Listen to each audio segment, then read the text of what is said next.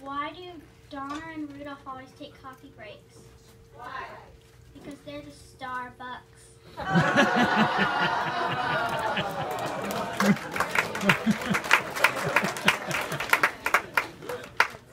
What do you call a kid who doesn't believe in Santa? What? A rebel without a claws. I'd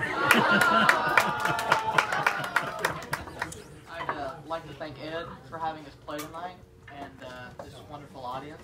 But the, uh, the only problem with this audience is it's really hard to be cheesy when all of you are lactose intolerant.